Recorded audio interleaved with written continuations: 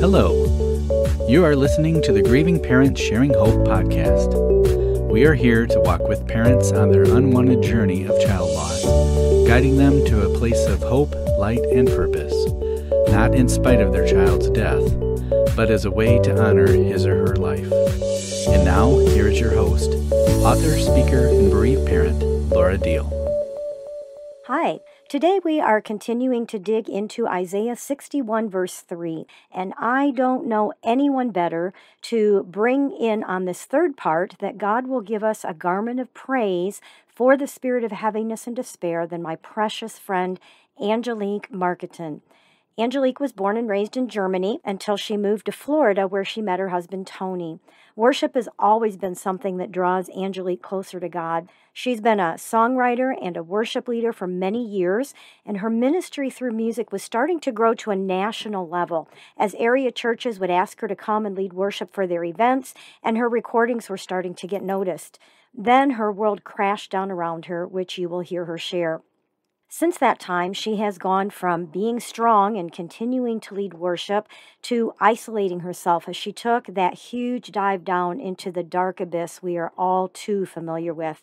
She is back to leading worship, but with a different heart of the raw and real wounds of life, and I believe an even deeper anointing. So here is my conversation with Angelique Marketon. Well, hi, Angelique. I am always glad when we get the chance to spend time together. And I am especially excited to have you join me on today's topic.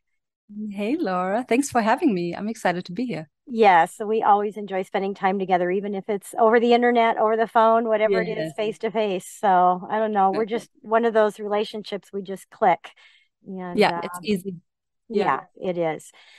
so, as far as the podcast and what we're talking about right now, the last three weeks we have been digging into Isaiah 61 3 which says, mm-hmm. He has sent me to tell them that they will receive a crown of beauty for ashes, the oil of joy instead of mourning, and a garment of praise instead of a spirit of heaviness and despair.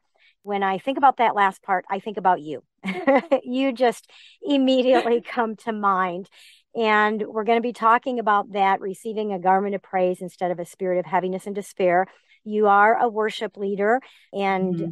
I would say one of those up and rising worship leaders. I mean, nationally known. I mean, you're the Lord was really blessing you, and you were beginning to really have His favor and leading larger and larger groups and things. And then Isaiah. Um, yes. So, can you share Isaiah's story with us, please? Let's start there. So, Isaiah is my only child, and um, he was uh, killed in a in a terrible accident when he was 16 years old, um, October 27th, 2018. And I was leading worship at that time, very, very involved in church, starting to do events and stuff like that, starting to get requests. And everything was good. Everything mm-hmm. was good in life, you know, obviously until until we lost him. Yeah. And he well, and he was in an accident with several other boys his age and he was the only one that lost his life correct? Yeah so there were there was another kid in the back of the truck with him. They were they were sitting in the the bed of the truck. And then there were four kids i think in the in the front. And uh, i don't even think the other kids were wearing seatbelts. And they were driving the the kid that was driving was fishtailing and kind of you know having fun maybe being showing a, off yeah being a you know, teenage boy driving yeah, exactly. Mm-hmm. And uh, he ended up losing control. He hit a tree, hit another tree, and then the truck went upside down into a canal. And then Isaiah hit his head and died instantly. And all the other kids got out. And, you know, some of the kids, I think, were doing mouth to mouth on him to try to save him, but it didn't work. And uh, that's how he died. And none of the other kids, I, I don't, they barely even got scratches, I think. I think one of them hurt his feet a little bit. And I think that was it. Mm. So yeah and, it was instant yeah and i someone introduced us kind of socially over the internet and it was just like a few months after isaiah died and it was um, yeah like three months or something i think. Yeah yeah and yeah. i i watched you there was a video out there and you had gone on well i'll say on stage you had gone up a big event you sang you led a worship and gave a testimony about the goodness of God in your grief and losing your son. And I'm watching this thinking, I've got to get a hold of this woman because she's she's in shock. Oh yeah, she's still in shock. Yeah. She this has not hit her yet. No, the reality yeah. of what has happened. God graciously put us together. Uh, we were mm-hmm. we had just started traveling in the Hope Mobile. We headed down to Florida, and you and Tony agreed to meet us at a neutral restaurant, Fish Lips, yep. which yep. we have now been to a few times since then. It has just been a wonderful relationship. And I'll just mention, I just now, I wasn't, I just, this just now came to me, but Angelique and Tony are the reason I have a CD. So they were the ones that helped us record. um, Angelique has a recording studio in her home.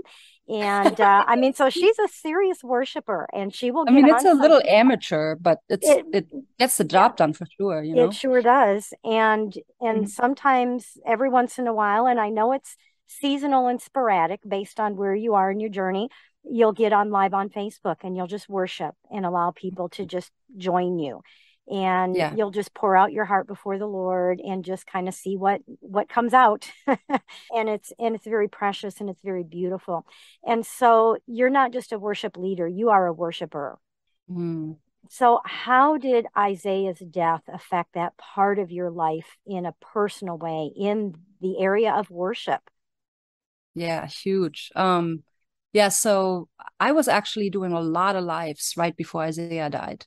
I was really like actually pushing myself to do it. You know, it's I always I'm very picky about how my sound is, and you know, Tony always has to. My husband has always has to set everything up, and it has to be just right. And I think we had just gotten it right, so like for months I was kind of coasting. I, I was you know doing a lot of lives, and it was great. I, I was enjoying it, and uh, but then when Isaiah died, Okay, let me I ask, actually, remind me, how many years has this been? You're coming up on that anniversary. It'll be four, years. I was going to say four. the twenty seventh of this month. Yeah, yeah, yeah. So I'm. Doesn't gonna... it, it's like it seems longer, but it seems shorter at the same time. I know exactly, yeah. exactly. Yeah. So this will be coming out right after the anniversary. Oh, okay. So yep. Yeah. So. Yeah. So I after as soon as Isaiah died, um, I literally hours after he died, I remember, and I, I know I've told you the story before. I looked at my mom and, and I said, Mom, I don't think I'll ever sing again. Like I literally, I just felt uh-huh. this like like a shutdown for it. Like I, I just could never sing again. Like there was too much joy in it. Mm. You know, I enjoyed it. It's like, you know, it's like my whole identity was wrapped up in in that you know what i mm. mean and mm-hmm. then after mm-hmm. isaiah died it was like how could i do anything that i find joy in it's it's unrealistic but it's that's right. how you feel when something like that happens you know mm-hmm. and i was like I, I don't think i'll ever write again like this is this is can't happen anymore you know what i mean mm-hmm. it just mm-hmm. doesn't right so um I didn't do anything at all. I mean, obviously, when the first few weeks you're in such shock, you can't even mm-hmm. breathe. Right, right, yes, or write or anything. But after like three weeks, um, I was at my mom's still, and Tony, my husband, actually brought my keyboard there. And I started, uh, I asked him to bring it. I said, I think I'm ready to maybe play a little bit. And I just like, he set it up in the corner at my mom's house in the living room. I started playing. I wasn't able to go to my house yet because mm. everything was Isaiah there, you know mm-hmm. I mean? So I mm-hmm. yes. deal with it yet. So I stayed there. But I tried uh, playing a little bit and, you know, I started feeling something. And I was like, oh, maybe, maybe I am going to sing again, you know, who knows? So but then like eventually i went home and then um there was all of a sudden another day where i was like i feel like i i need to write something. And uh you know i hadn't done any lives or anything at all. Like this was, mm-hmm. was like i think this was three weeks after still. So this was just after i left my mom's house. But that's when all of a sudden i feel like god gave me a song and uh, it, it's it, a lot of it is based on sounds. It's I couldn't give you one specific sound because it's like different sections yes. and also my own words mingled in it. You know what I mean? You're crying so, out along with David's crying out. Yes, exactly. Mm-hmm. Yeah, it's all about crying out in the midst of total despair and you know how i'm desperate for him to come and help me and and all of that stuff so and then kind of like by faith like in the bridge i talk about how he comes and helps me, you know, and it's like I'm singing this by faith, you know mm-hmm. I mean? singing it by faith. Yes, exactly. Yes. Yeah. So that was like the beginning of starting to do a little singing. But then I, I tried to do lives again after, you know, a, a few months. and I I had such a hard time. I couldn't like my first live. I cried the whole time just trying to explain mm-hmm. to people why I haven't sang, and so it's like I did one, but it was so emotional. You know what I mean? So actually, to this day, I haven't done a lot of lives. I'll do lives here and there, um, but not too many because those are they're very vulnerable. I feel like yes. you know so done too many, but I do them once in a while. Mm-hmm. But I have started leading worship again. My pastor now, I, I really like him a lot. He's amazing um, he asked me for a while and I kept saying no. And then I said, I'll pray about and it. Can, let me clarify because I think some yeah. people struggle with this too. This is a different church now than mm-hmm. what you mm-hmm. were going to oh, yeah. when Isaiah yeah. died. Right, right. Mm-hmm. Yeah, it was just too many memories. And everybody there, I knew them. Everybody knew my son. Uh, it, it was too painful for me and to, did to you, back. Did you feel like because you had been such a strong worship leader there, did you feel like whether it was your own pressure or coming from the outside or internal that there was just an expectation and a pressure on you to continue that i mean I, I, probably put that pressure on myself you know you always feel that a little bit and i knew they needed somebody at the beginning but then you know my friends kind of they came in and started doing it and then somebody else ended up leading again but yeah maybe i put on myself you know they wanted me to come back obviously but Mm-hmm. Yeah, I probably. Now, did you did you and Tony quit going to church for a while, or did you keep going? Yeah, well, I wasn't able to go to church at all. Well, first of all, my physical, my back went out the day before Isaiah died, yes. so I wasn't able to sit or stand at all, which is funny because now I'm in the same boat again. My back just went out again. So yeah, she's I'm talking to me laying on her couch. this has been going on for like seven years on and off. So um, but when Isaiah died, it was the worst. Like the day before he died, it started. So I couldn't really lead anyways. But even when mm-hmm. my, got, my back got better, then yeah, I just kind I, I just couldn't really go there. Like every time I went to church, I cried. Tony mm-hmm. ended up going um, by himself to help them mm-hmm. because he just kind of needed that. He, you yes. know how men deal with it differently too. Like right. he needed the distraction, I think. Yes. Um, and I stayed home then. Mm-hmm. You know what I mm-hmm. mean? I, I couldn't yes. do church at all. I, I was really processing, like trying to figure out where I was with God. Like that's a crazy change in your life to lose your child. Like, you know, especially as a worship leader, it's like, uh, yes, where did I go wrong? What did I do? You know, you feel like it's you. You know? Yeah, yeah, and and to be a worship leader and a worshiper, and then to have to sort out, do I still want to worship you? right. I, you know, I mean, there's the raw realness of it. You know, mm-hmm. my child's gone, my only child. Do right. I'm supposed to be leading people into your presence, and I don't even know right. if I want to be in your presence. Right yeah, now, and, yeah, it I'm mad. critical. Right. Mm-hmm. Yeah, yeah. It really makes you question God. Like, I don't care who you and are. And then it's like, was all that real? Was I just pretending to worship you? I, I, I, right. I mean, it just, it just.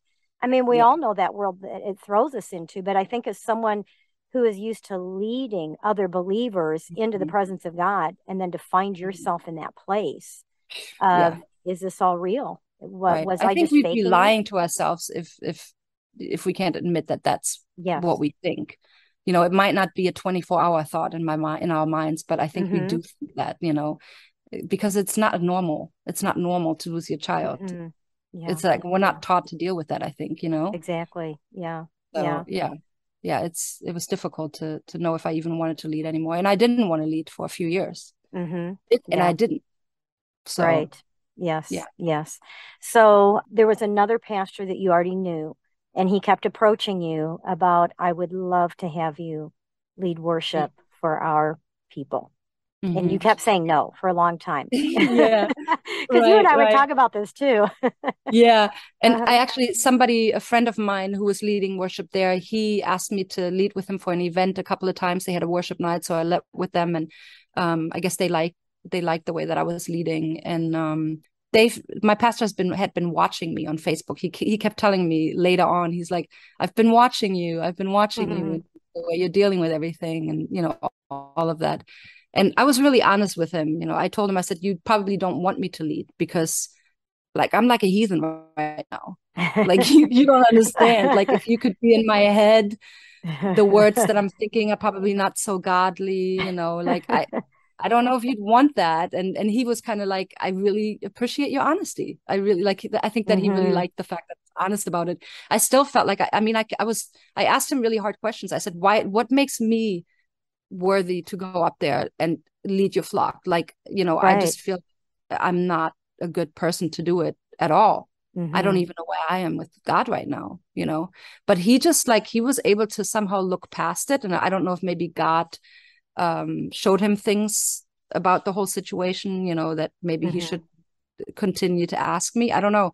Because I, I think it, at the end of the day, it really was good for me. You know, he, he's he's so down to earth and even though I think a little bit different in some of the faith things, uh, uh healing, the, the area mm-hmm. of healing and stuff like that, we were able to really communicate about it and he doesn't judge me at all. I think he gets it. And actually, his dad was murdered oh, when he was wow. younger. So I think he understands grief. Yes. Um, it's different, but that's also brutal, you know, like to go through yes. something like that. Yeah. And um, and he also has been very clear from the beginning that he understands that there that this isn't something to put on you expectations mm-hmm. of you're going to be there every yeah. Sunday. You know, this is how it's going to be. He right. has just made allowances for you to take off like one Sunday a month where you're not leading worship. If you mm-hmm. need, mm-hmm. you know, I just can't do it. He, yeah. it's like, that's okay that's okay. Yeah, there's been a lot of grace for sure. Yeah. I, I know like he probably would want more from me than what I've been able to give him. I mean, I mean, I was consistent anyways, but like now with my back and everything too, like I know he would like for me to be more involved, but he knows I can't, you know, so he's mm-hmm. like really mm-hmm. lenient. But um yeah, it's funny because uh he he told me he said just pray about it and let me know and I was like, okay, how about I'll lead for a few weeks and then I'll let you know. And I literally, we laugh about it now. It's been a few years now, and I never let him know. and I'm still leading. Like I'm their main uh-huh. worship leader, but I've never let him know if I'm in or out. But you know, I guess I'm in him. So that's kind of been funny, you know. mm-hmm. Now you have yeah. mentioned your your back a few times. So I want to turn a corner here because a lot of parents, you and I were talking about this before we started recording, a lot of parents, especially moms, their health just deteriorates. Thyroid issues, immune deficiency issues, adrenal glands start failing, and you already had back problems. You have lived with chronic pain most of your life because yes, you have fibromyalgia, and you're just one of those people that your body just doesn't seem to want to do what it's supposed oh, to do most of the yeah. time. So with that, and you've had seems like even more health issues since Isaiah died. Yeah. You know, how do you live with that on top of, you know, the death of Isaiah? And I know you and I both come from a, a background of speaking the word and claiming healing. And, mm-hmm. you know, when those things don't happen, you shared with me you got a text from someone yesterday uh, on this topic? Mm-hmm. Yeah, it, that's a tough one.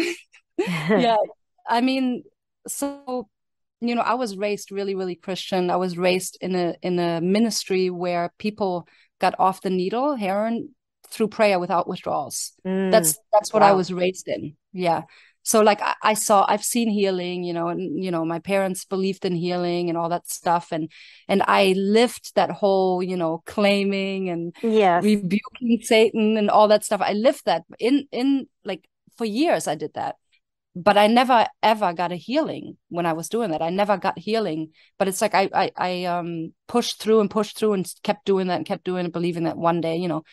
But i did start eventually kind of uh it's exhausting after a while when you don't get healing people that don't live with chronic pain they can't relate to that because mm-hmm. they're not living it's like this is what we live every day you mm-hmm. know what i mm-hmm. mean so um i feel like i had to come to a point and even before isaiah died just a little bit before isaiah died i kind of had to come to a point where i was like well i have chronic pain every day that is my reality on earth like in the flesh that is my reality. Does that mean i don't believe that god can't heal me? I he can heal me. I do believe that. You know mm-hmm. what i mm-hmm. mean?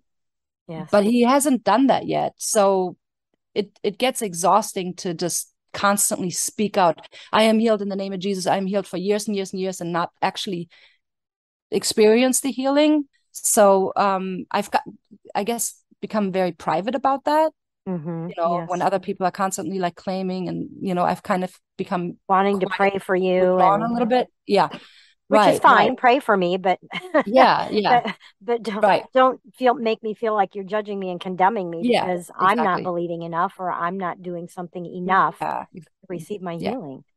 Yeah. And then, of course, after Isaiah died, that was like a whole nother level because, you know, I would see things sometimes like people would post things on Facebook about how, oh, my my friend or my child or my family member just got in a car accident and yes. see if you just believe everything is fine right well, i'm so glad i pray for my child every day for their safety exactly. and protection it's like right. well yeah that so did I. absolutely untrue mm-hmm. i mean i mm-hmm. was a worship leader my yes. son died we we gave up a lot of time for god and uh, i'm not yes. saying that in a negative way it's just that we chose to do that and we wouldn't have had it any other way Mm-hmm. But that didn't change the fact that my son still died. Yes. And that didn't change the fact that I still lived with chronic pain. You know what I mean? Mm-hmm. So that's that's been like a huge one. So for me, like what God is not good when I'm not healed or or am I weak or I don't have enough faith because I still live with pain and because my you know son was killed. Mm-hmm. So I mean, yeah, somebody a good friend of mine asked me yesterday like do you you do pray, right? Well, of course I do. I'm desperate for healing. But mm-hmm. do you mm-hmm. pray in this way, like the way that the Bible says and about faith and speaking it out and this and that? Mm-hmm. Yeah, I did it for many, many years. but, so it's like, you know, when you say when you say things like, well, I did it for years, you already know that they're going to say, "Well, you're not doing it anymore, so now that's why you're not getting right, healing." Right, right. You, you, how do you know you weren't right on the edge of it, and the enemy made you quit? exactly, exactly. Yeah. I really don't think that God would be that cruel. Cruel, like although we do feel like He's cruel because He didn't stop the death of my child. Right. I mean, so we, that is yeah. something we have to work through.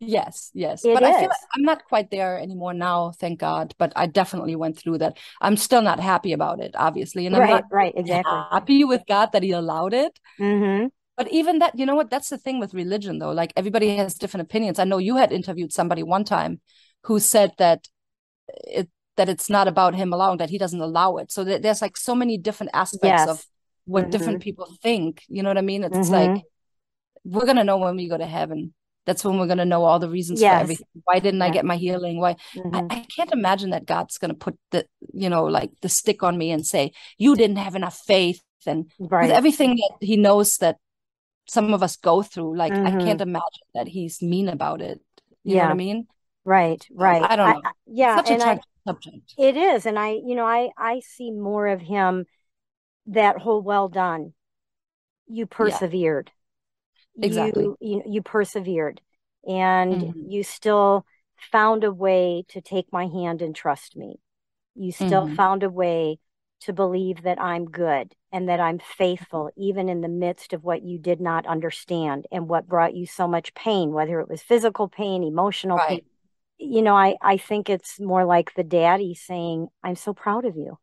Mm-hmm. I'm mm-hmm. so proud of you that you persevered and mm. you held on and even when you let go you held on you know? yeah yeah you let me and it's actually my on. pastor yeah that's what i love about my pastor he's done that for me like you know when i felt like i've actually felt hypocritical because i've led worship even for a couple of years and then saying i still feel like i'm not you know agreeing with everything exactly mm-hmm. or like you know still struggling I'm struggling, yeah. but I'm doing it, you know. And that's that's one of the things he always said is like you're pushing through. Like to me, that's faith. You know what yes. I mean? Yes. I, I, love that about him. So I don't constantly feel like yeah, faith isn't getting what you want from God. You believe enough so you get what you want. To me, faith mm-hmm. is trusting him through whatever comes, whether you get what you want or not, mm-hmm. whether it's painful or not. Faith right. is still hanging on to God through all of that.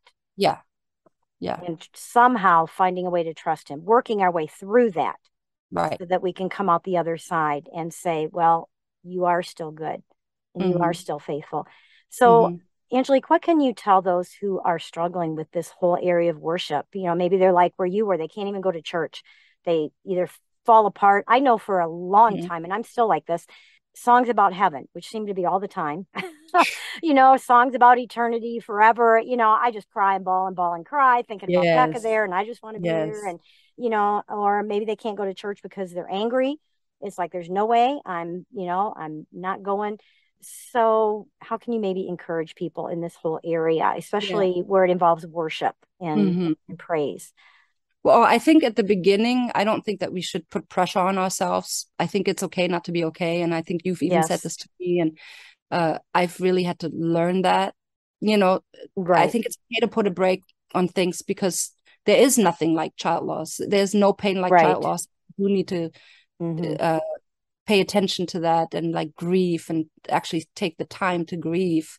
Yes. Um, and if something is a trigger and we're not ready, it's okay you know i think eventually i had to push myself i, I did push myself mm-hmm. you know what i mm-hmm. mean but it took a while before i did it and and i i actually even you know even when i felt pressured by other people i didn't i didn't receive it like i just right I, I remember i used to tell my husband i said honey i'm not gonna let somebody pressure me into anything if i don't want to go to church because mm-hmm. i just i'm not mm-hmm. and i that i'm a bad person because of it god knew yes the level strength I had in me. You know what I mean? And I, I think I, that... I don't think I, you know it's that whole fake it till you make it thing.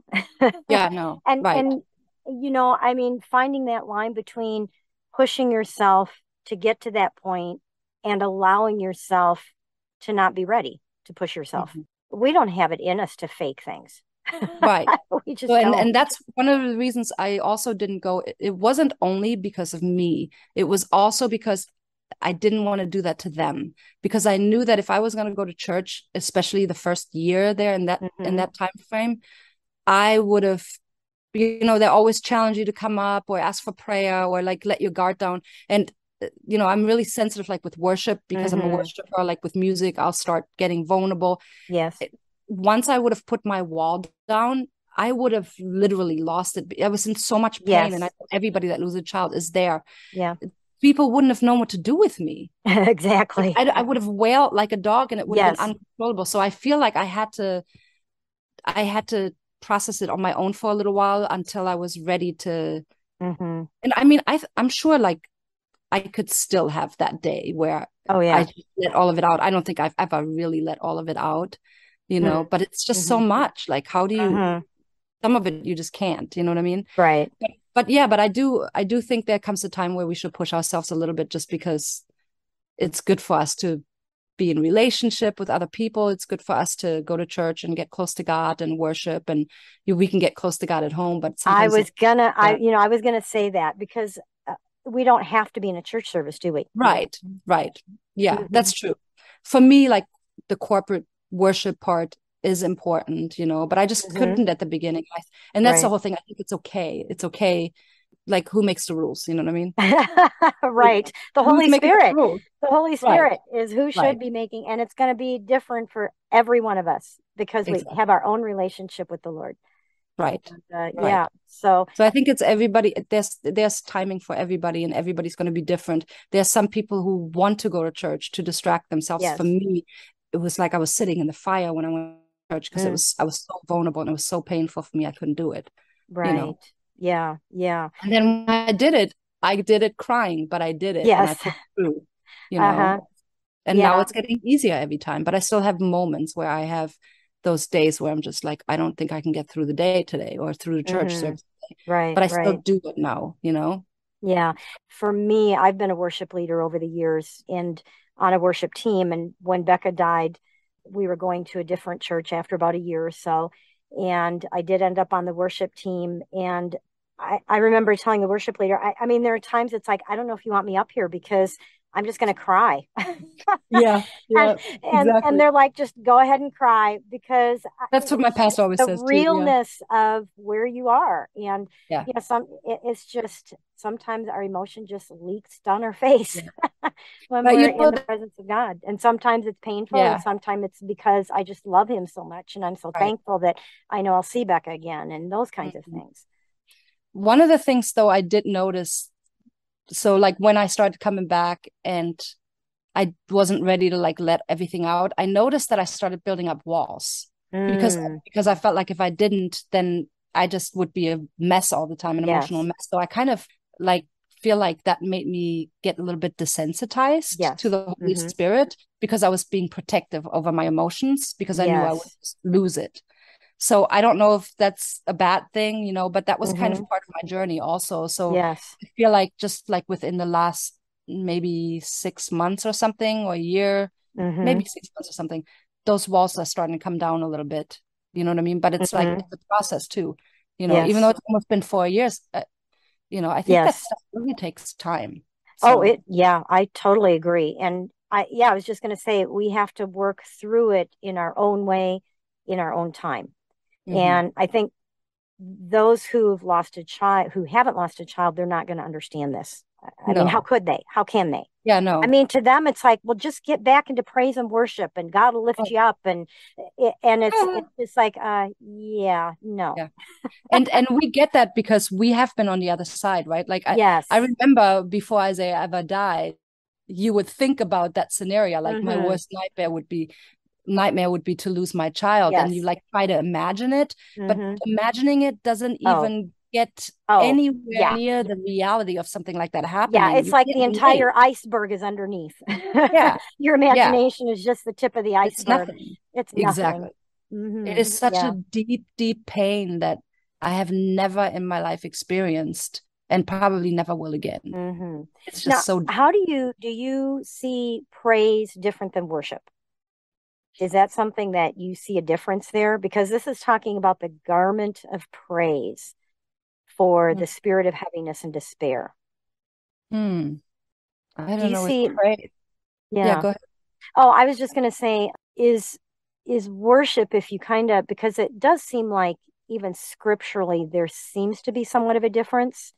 You know, Mhm. where praise might be like, well, in, in the podcast I just recorded, the difference between mourning and grief that I recently discovered that mourning is the outward expression of the Mhm. inward feeling of of the Mhm. grief, the emptiness, the darkness, the dis, you know, the depression. Mourning Yeah. is the outward expression. So it's it's almost like worship maybe is what comes from your heart, the depth of your Mhm, heart, of the intimacy with God. mhm. And Yeah. praise is kind of that outer expression of that. Yes. Yes. Yes. I think so too. Yeah. Yeah. Yeah. With So worship, it's more like heart to heart. yeah, it just feels more intimate, doesn't it? Yes. Yeah. Yes. So this whole garment of praise for the spirit of heaviness, have you found that there have been times that maybe you're feeling that heaviness and despair and discouragement and just that darkness Mhm. that when you do get in God's presence and maybe the times where you didn't feel like it, but you made yourself worship, you made yourself praise God, how Mhm. whatever that looked like, that it did lift that heaviness Yeah, but for that time? only only when I worship by myself. It does Mm. this this doesn't happen to me corporately. Like hmm corporately, it's almost like God, I am weak and I need you to do this for me. And hmm that's what happens. Yes. And he gets through it. But uh, when I feel like God comforts me in that pain, it's when I worship by myself in my in my private Mhm. time.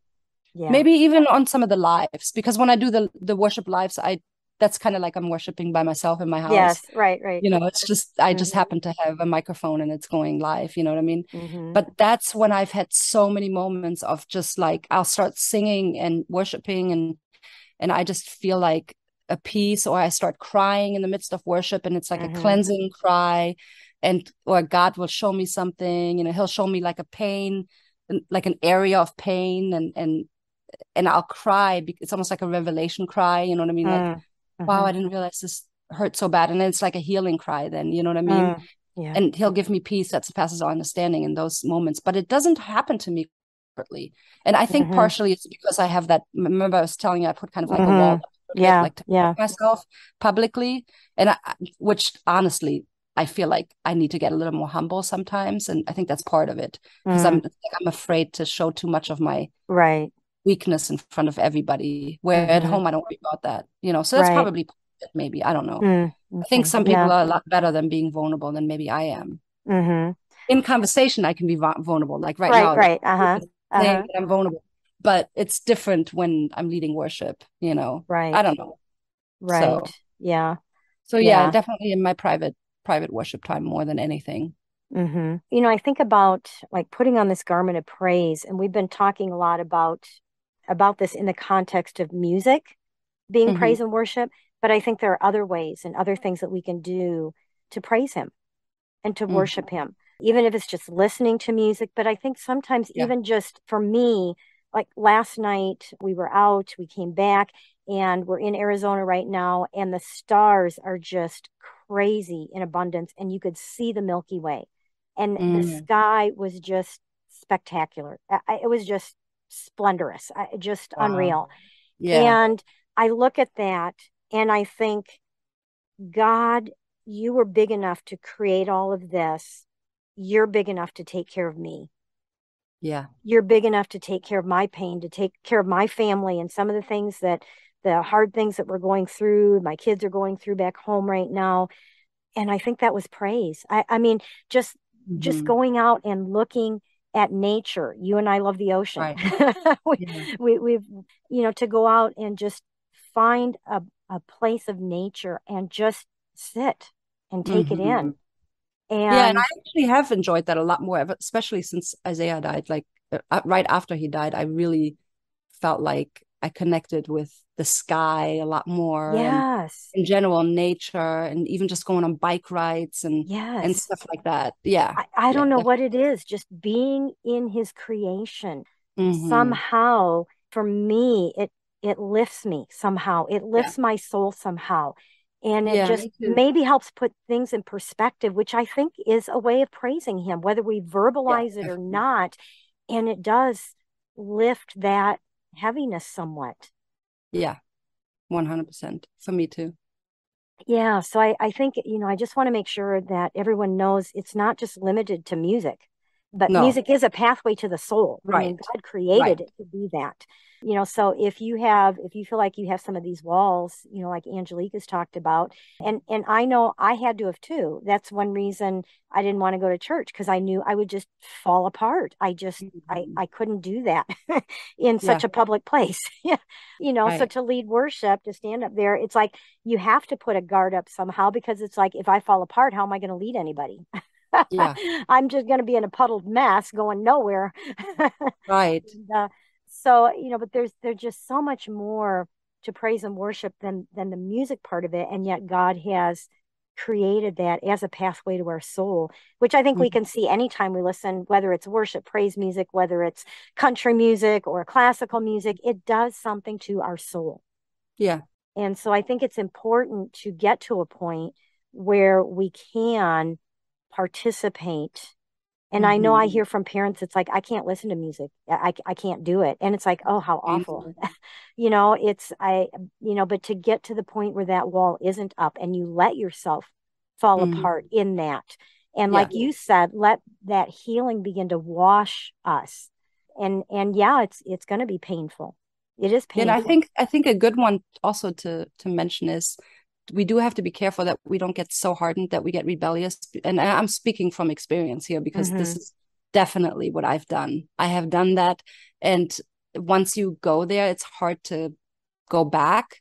It yes. took me a while like, because I, I have I have had moments where I feel like I've gotten rebellious and angry and just from being closed up and not mm-hmm. letting God in and letting yes. other people in. So I think we have to be careful not to get too hardened. Mm-hmm like in the in the midst of trying to take our time like to still yes. be you know what I'm saying? Mm-hmm. Yeah, yeah, so I do. I, I remember years ago, this had nothing to do with Becca dying, but being in a situation where you know I, I cry easily. I'm a leaker even before Becca died. But I remember, yeah, I remember you sharing I, that. and I making people uncomfortable. I even had a pastor tell me one time, you know, Laura, you can't cry when you pray for people. It just makes everybody around you uncomfortable. And I oh. have come to find out that it's like, well, I can't turn them on and off. I I can't. They just come. I feel things deeply, and I have found that more people actually it opens the door because I honestly think that feel like the one that's okay. wrong, not you. so, but I I went through a time where I somehow managed. Nothing made me cry, and I realized. God spoke to me once. It was just kind of in a weird thing. I'd put in an old videotape of, I can't remember, and something in there just broke me. And I remember the Lord speaking to my heart that I cannot get to a point where I harden myself where I don't cry because then my heart is hard. I mean, that's what happened. I had hardened my heart because I was so tired of crying and being a crier. Mm-hmm. And it was like I was bound and determined that wasn't going to be me anymore. And it right. made my heart go whole hard and bitter. Mm-hmm. So I have learned that yes, crying wow. and tears, as painful as it is, it, it means that we're tender and that's a good place to be, even though it right. may not feel good and it's very vulnerable. Right. yeah. yeah. So we are going to play a song for you. Mm-hmm. And it is now, Angelique, is this the song that you were talking about that you wrote, or is this Isaiah's song? Yeah, I wrote the song three weeks after Isaiah died, and it's called Out of the Deep. Okay, so we're going to play that, and then we'll be back.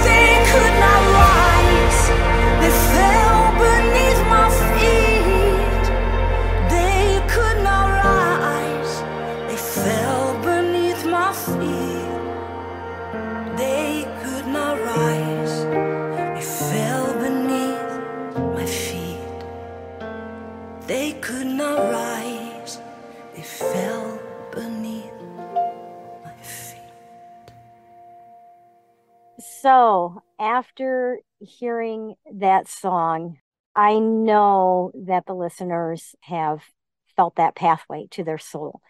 Angelique, I'm going to ask you do you have any last thoughts for the listeners, either about this verse that God will give us a garment of praise for the spirit of heaviness or despair? Just what are some final thoughts that you might have for everyone? Yeah, I, I would just say don't give up.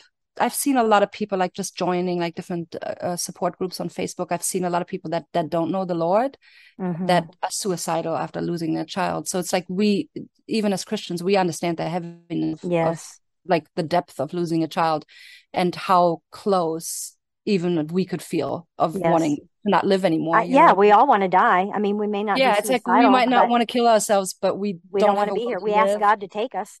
Right. And I mean, and the thing is, maybe I didn't realize that I f- felt that way maybe the first year, but after the first year, that's when I I remember telling my husband, honey, I have lost a will to live. I feel like I Mhm. want to live. Like, Right. but I wasn't suicidal. So that's like I feel like Right. between Yes. Really truly being a believer and maybe not. You know, the, I the whole time I always knew like I don't want to die. Like I don't want to live, but I don't want to die. You know what I mean? Yes. And I feel like everybody's going to go through that phase Mhm. after losing a child. And I just want to encourage everybody to not give up because it does get easier. And, and you know this too. I mean, it, it doesn't mean that you're not going to get hit really, really hard in the middle of it again, even after four years, maybe 10 years, who Mhm. knows? Yes. The first two, three years are the most difficult, I feel like. hmm But it does get easier. Like even when you feel really heavy grief, it's like you learn to manage it somehow. You know what I mean? So it just becomes part of who you are, of part of your life. So hmm you really Like your learn. chronic pain that you've lived with. Right, right. That you hmm somehow like it's just part of what you do, what Yeah, what and going sometimes it's kind of interesting because, like right now, sometimes you're totally incapacitated. Yeah, You're yeah, you're doing right, this from laying on your couch. right. Other Even times the pain is eating. there, you can function, you you know, you Right, function through the pain, and sometimes it just takes you out. And I think that's the right, same way with our grief, with the death of our child.